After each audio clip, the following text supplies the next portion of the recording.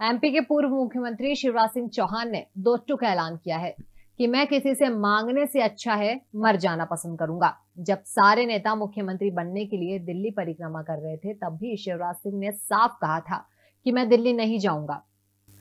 पूर्व मुख्यमंत्री शिवराज सिंह चौहान के चेहरे पर पीड़ा के भाव साफ़ देखे जा सकते हैं। सोमवार को भाजपा आलाकमान ने शिवराज सिंह की जगह डॉक्टर मोहन यादव को मुख्यमंत्री बना दिया। नए सीएम मोहन यादव के नाम पर मोहर लगने के बाद आज पूर्व सीएम शिवराज सिंह चौहान ने कहा कि बहनें मेरे लिए वोट बैंक नहीं है। मैं जब मुख्यमंत्री नहीं था, तब भी मैं कन्या विवाह करता था। शिवराज सिंह चौहान ने कहा कि मैं अपनी बहनों के लिए हमेशा मौजूद रहूँगा। पूर्व मुख्यमंत्री शिवराज सिंह चौहान ने कहा कि मैं किसी से मांगने से अच्छा है, मर जाना पसंद करूँ। और आज जब मैं यहाँ से विदाई ले रहा हूँ तो मुझे इस बात का संतोष है कि 2023 में फिर भारी बहुमत से भारतीय जनता पार्टी की सरकार बनी है।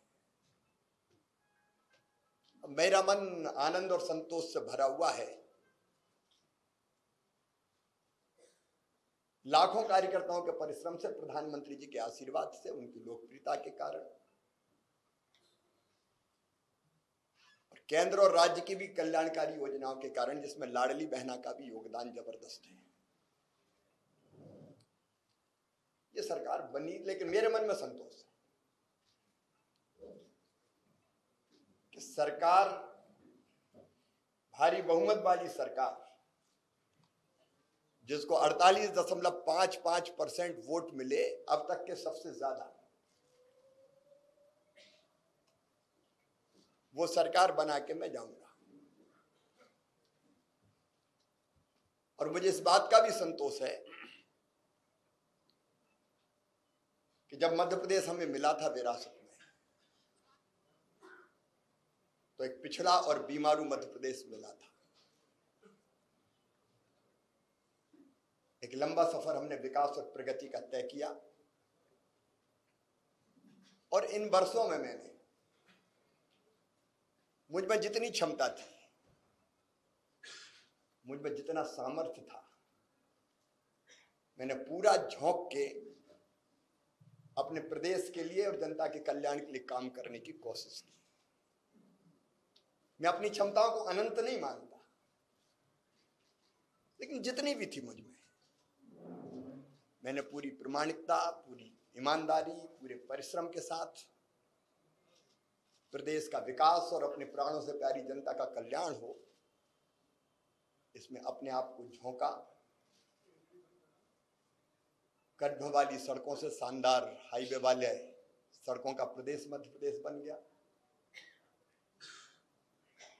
अंधेरों के घेरों से निकाल के उजालों की नई दुनिया में हम मध्य प्रदेश को लेके आए। कृषि के क्षेत्र में चमत्कार हुआ है, आप सब जानते हैं, मैनी विशेषज्ञ कहते हैं। एक सौ उनसठ लाख मीट्रिक टन से उत्पादन बढ़ के छह सौ उन्नीस लाख मीट्रिक टन हुआ। एग्रीकल्चर ग्रोथ मध्य प्रदेश की चमत्कृत करने वाली है। और वही मध्य प्रदेश की आर्थिक प्रगति का फिर बड़ा कारण बनी।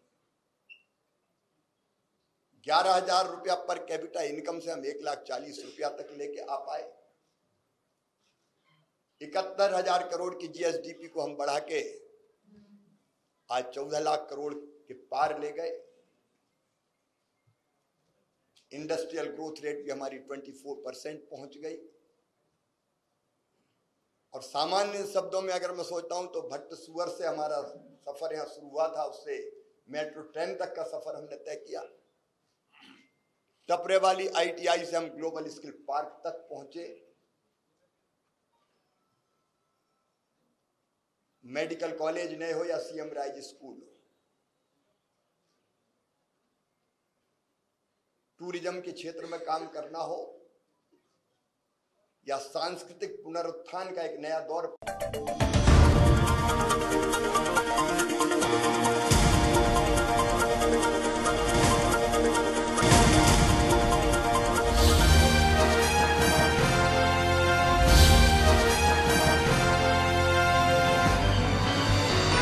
आप देख रहे हैं दखल न्यूज़।